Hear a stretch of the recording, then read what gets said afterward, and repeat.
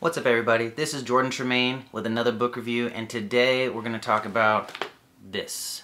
Buy It, Rent It, Profit by Bryan M. Chavis. So, um, as it seems, because there's a little house here, this book's about real estate. And this book, this book is a book. Um, the guy that wrote it, mad props to him because um, he had a learning disability and he worked really hard and he had a lot of patience and built a real estate company and then he came back after he was like good at that after he got his 10,000 hours. And he wrote a book.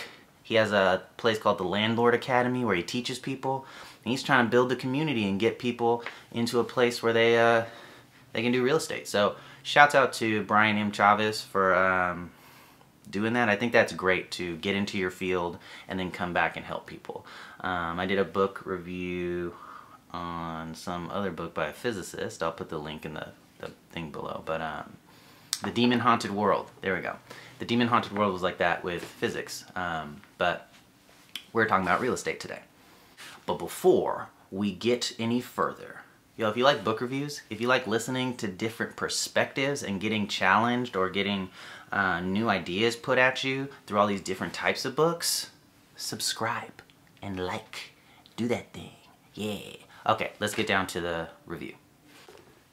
So this book, Buy It, Rent It, Profit, Make Money as a Landlord in Any Real Estate Market. I think it's cool because it it kind of breaks through a lot of preconceived notions about the real estate industry. I think a lot of times the difficulties we have doing something new really don't have to do with the actual thing. It's about our beliefs that we apply to that thing. Like a lot of people, before they start learning math, they already believe that math is hard. And that really makes it harder for them to learn math because they go into it like, oh, I believe this is hard. But if you don't have that belief, math is a lot easier to learn. And I think there's a lot of beliefs like that that make it hard for people to get into real estate. Like, oh, uh, I need to time the market right. Or, oh, it's very complicated. Oh, my friend lost a lot of money, so this is not a good thing to do. There's a lot of beliefs around real estate that make it seem more dangerous than it really is. And it's, comp it's it, it, there's a decent amount of complication. There's some work to be done. There's people to find and teams to build, but it's doable. And I think Bryan M. Chavis does a good job of breaking down a lot of the the misnomers or the little excuses that people make for not buying or uh, when they have a bad experience saying like, oh, that's real estate just messed me over. Like, no, you you didn't do your due diligence. You missed this step. You thought with your emotions instead of your head. Like that was you. Um, but I think there's there's a lot of good reframing that goes on in this book. Moreover, this book, out of all the real estate books I've read so far, this book was the hardest to read because it had the most useful information. Bryan M. Chavis broke down like this whole thing. He talked about this thing called the CIOTA method, which if you read the book, you'll figure out about the CIOTA method. Um, and then he goes and gives you basically every form you would ever need or a template for every form and contract ideas and stuff. And they're actually in the book. And then on top of that, at his uh, website, Landlord Academy, they're there so you don't have to like scan them or type them out again. You could just go to the website and print them out. And then there's all these like educational references for that. So this, this is less a book. Like I would say this is more of a book and this is more of a textbook where there's a lot of actual examples in here and a lot of like, oh my gosh, let me see. See, I just flipped to a random page and it shows you examples of like contracts and stuff like that. But um, that can get really difficult to read because if you're reading through contracts and contracts and contracts and you're not used to that, that stuff can be confusing because the language, the way it's worded is strange and it could also be very mentally draining. But hey, if you're going to get into real estate, that's what you're going to do. So you're going to have to read contracts. So I'd say this is like good practice, or it's a good way to, um, let's see, spend $19 to figure out if you're even able to do that before you even try to buy a house. You can say like, oh, if I'm going to have to be reading a lot of contracts, here's some sample contracts. Let me read through those and see like, is this really for me? Because it's not like, oh, sign on a dotted line and make a million dollars.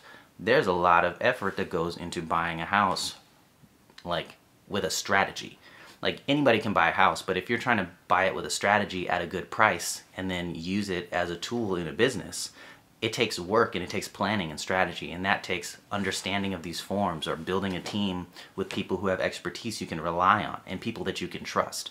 And i think this book does a lot in just giving it to you how it is. Like um, hey this is this is a big thing. This is important. You should take care of it. And here's a bunch of examples of how i i have taken care of it in the past or have how i've messed it up and learned from it and here's because i've learned here's some forms that I use now that help me out. This part of the form is really important because this happens if you don't put that in. This part can protect you from that.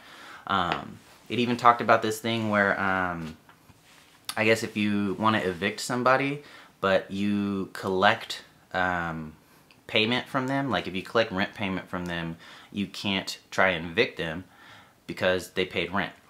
And that's true even if they pay partial rent. So if your system allows somebody to pay partial rent, then they can pay like a dollar and they can be like, well, I paid. And then you can't evict them until the next eviction cycle or you need to fix that hole. So like using Venmo or something like that to collect rent can be dangerous because people can send you partial payments and because it's through Venmo, you automatically accepted it. Um, whereas if you had to do a check or you had to do um, some other form where you needed to pay in full, then it would be different. So little things like that that um, aren't a problem until they are a problem, and then they might be a huge problem. And it talks about some some cases like that. So, um, like I said before, this book is a little bit difficult. It's a little bit dry, and it has a lot of textbooky knowledge.